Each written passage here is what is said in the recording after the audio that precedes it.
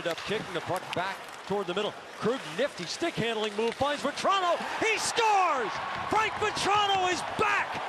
And the Bruins lead 1-0. What a release. Woo! Catch and release in a split second, and Reimer can't close the pads in time. But what a nice little move by Torey Krug. The puck comes into the neutral zone. Krug has it. He's got a little step back move, and then he gains entry, and he beats two Panthers, both to the backhand, and then he delivers a nice little feed. The Bruins going to have two guys on the net drive, but Toronto's going to be on the outside. Wow. Foligno from one side, Eichel from the other. Chara rescues it to Vatrano. He scores! Frank Vatrano! 128 into the game. And what a monster shift by Chara.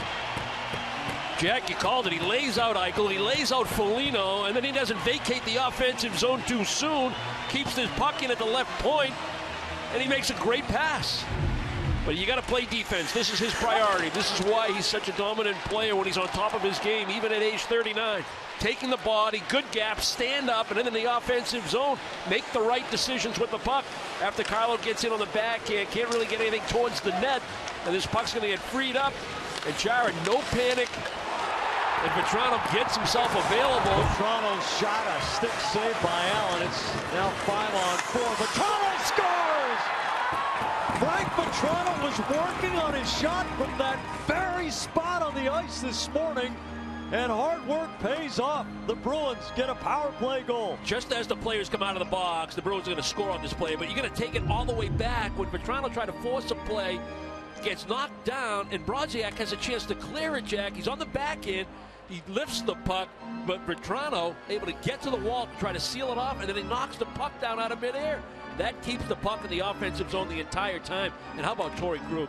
Quickness to get to the puck and recognizing that everybody was chasing that loose McQuaid and then to Krug and then Bergeron a shot that directed wide. McQuaid a shot off a skate in front, another shot, rebound, they score! One initial stop made by Coreau, but then the rebound was bashed in out of the net mouth scramble. And the Bruins strike first 44 seconds in. Well, no hesitation at all for the Boston Bruins. Forcing the Red Wings into foot races, winning those foot races. Crazy carom. Adam McQuaid just shoots his puck to the front of the net. Stopped initially, and then Frank Vatrano follows up right in behind Brad Marchand. Well, Eddie and Doc, there's a lot of white noise around the coach, Claude Julien. To gain the zone. Off his stick, but retrieved. A handcuffing pass was troublesome for Krejci, but they keep it alive. A shot score! Vatrano again! A power play goal, and it's 3 nothing Bruins.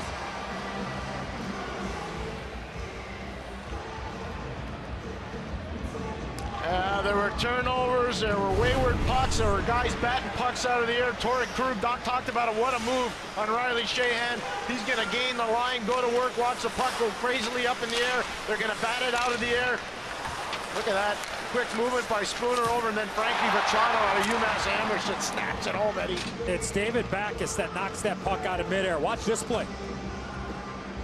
Keeps it alive, and then the release of Vatrano. What a pass, though, from Backes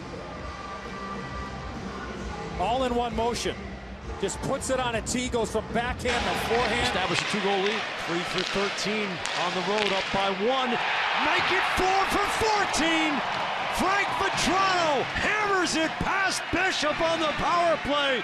The Bruins taking flight with 7.37 to go. Up 4-2. Well, it's a nice play out high. Create those two-on-ones with the man advantage, and the Bruins are able to do that win some puck battles, create a two on one, expose. Was that Boyle that lost the stick on that play, trying to get out along the wall? And a nice little play here by David Krejci, Colin Miller. They create that two on one. They take advantage of a player without a stick. Pulls up in the eddy of the flow, comes off the board, stick handles to Vatrano. He scores! That is vintage David Krejci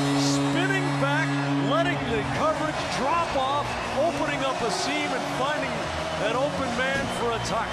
They take it back even a little further. He's out at the right point, and he's going to go D to D to Krug, and he doesn't stay there. Create the two-on-ones, and this is a simple possession play in order to get the puck back, a give and go. I want the puck. I want it on the half wall. I'm going to work my way over there, and it's going to make a simple opportunity for Krug to go to Krejci, and now you don't stay. You attack off the half wall. It forces teams to have to defend. You have to respect the potential shot, which Miller does. And it's rolled all the way back. It'll dangle here. Pastrnak, Krejci just wide. Vatrano scores! He joins the fun. Frank Vatrano, 4-0 Boston. Well, the Canadiens had a couple of good chances in the Boston zone. Unfortunately, weren't able to cash in. And then the Bruins are able to get this puck out of their zone. Pastrnak blows the zone and eventually makes a great little nifty play here through the legs. A nice little feed. Shot goes wide. Look at the lively end boards. Kicks that puck right back out to Frank Vatrano, and he puts it into the empty net. But a great job by Pastrnak to make that skilled move. And boy, those boards, that puck spring springboarded right off that those end boards, kind of like Detroit. Up the wall for Krejci. He's got Vatrano breaking ahead. Vatrano in alone. Scores! David Krejci with a brilliant diagonal up ice. And Frank Vatrano does what he does best. It's 3-3.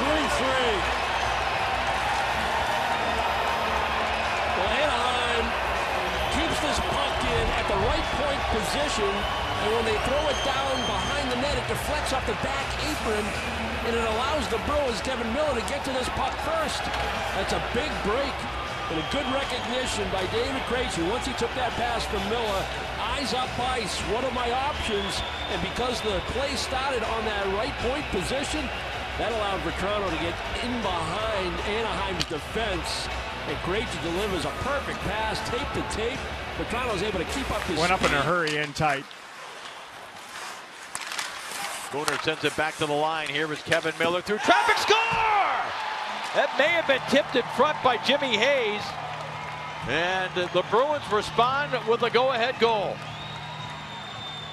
That's the second goal of the day like that. Krejci back in the first period. Yeah, it looks like Vatrano's going to get a piece of this, Yeah. fellas. He's in that uh, high slot area, and he's a pretty good goal scorer, this kid. Another one of these young guys. The Bruins trying to incorporate young players and new faces in the organization. You can have some growing pains, but what you like about him is his ability to score. And it's a very purposeful shot from Kevan Miller at the right point. It's intended for a redirect, and Vatrano delivers it. That's twice now that Lehtonen was smallish in there and got beat